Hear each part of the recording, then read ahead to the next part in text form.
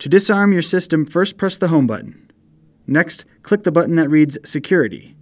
Press Disarm.